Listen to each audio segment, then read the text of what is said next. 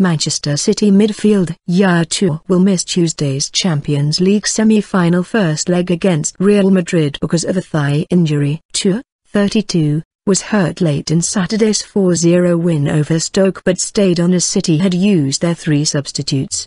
But captain Vincent Kompany, who has only played 20 times this season for the club, says he is 100% fit after recovering from repeated calf injuries. Real hope Karim Benzema and Cristiano Ronaldo can play after injuries. Ronaldo missed Saturday's 3-2 win over Rayo Vallecano with a thigh injury, and fellow forward Benzema limped off in the first half of the game. Coach Zinedine Zidane said, they are absolutely fine at the moment, they have recovered really well. I think they will be fine, 100%. But we will test them. The idea is they'll play. Toure has featured in all but one of City's Champions League matches during a campaign that has seen them reach the last four for the first time. City boss Manuel Pellegrini has not ruled the player out of next week's second leg in Spain, saying the club will assess his fitness over the coming nine days. City players are hungry for this.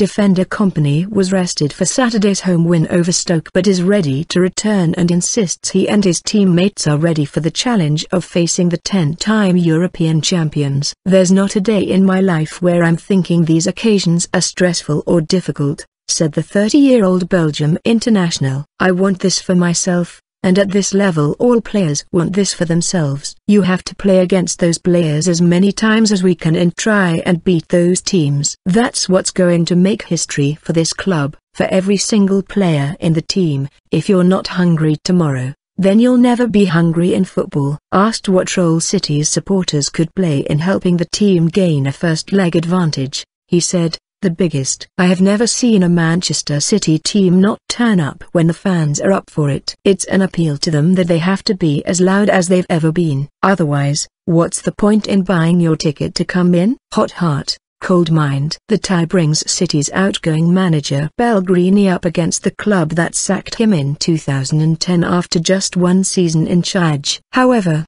the Chilean, who is leaving City at the end of the season to be replaced by Pep Guardiola, said, I don't look back. I always prefer to think about what is happening now. I'm happy if we win the title.